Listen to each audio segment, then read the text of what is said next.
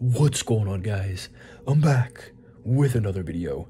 Today, I'm going to be showing you guys the top 5 Stranger Things cards that have sold on eBay within the past week of me recording this. And that specific week is going to be from June 30th to July 7th. So essentially the first week of July.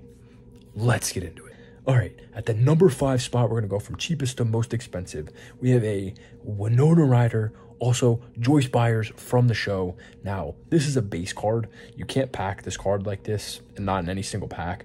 And if you go to the specific listing, you'll see that it is a Make-A-Wish Foundation card. So they actually put a, a sticker autograph on there. So it's not on card, it is a sticker. But yeah, it's just a regular base card with an autograph put on there. But this sold for $89 with 14 bids. And this specific card is from the Welcome to the Upside Down set from 2019. That is number five. Number four we got the Nancy Wheeler costume relic card from another card from Welcome to the Upside Down from 2019. And this is the purple parallel, which is number 225.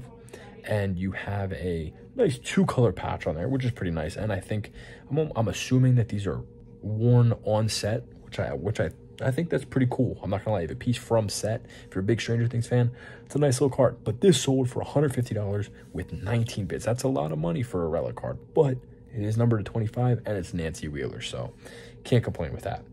Number three, we have a the last three cards are from season four. So yeah, number three, we have a base a base card, but this is the blue parallel, which are number to 11. So this is 1 out of 11.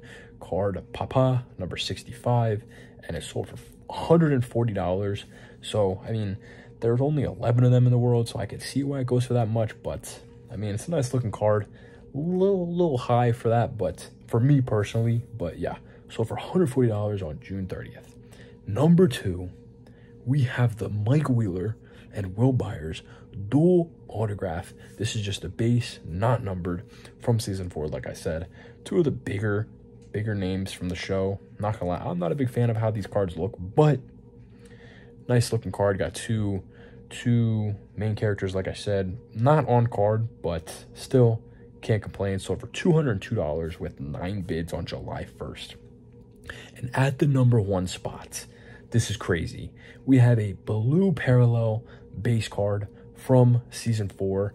Like I said, these are numbered out of 11, but this is number 11 out of 11, which is the equivalent of a jersey numbered card from sports. So, yeah, sold for $400. That is crazy. I personally wouldn't pay $400 for that. But, yeah, I guess you can look at it from the bright side. It is jersey, not jersey numbered. It is, I guess, name numbered. I'm not really sure what you would consider that. But, yeah, sold on July 1st. I'm assuming this isn't a fake listing as well. I'm just going off what I see. So it could be fake, but from what I see, sold for 400. That, that's crazy, bro. That is crazy. So yeah, that's the top five cards from the first week of July from eBay that sold on eBay. Thank you guys for watching. Stay tuned the next video. Bye.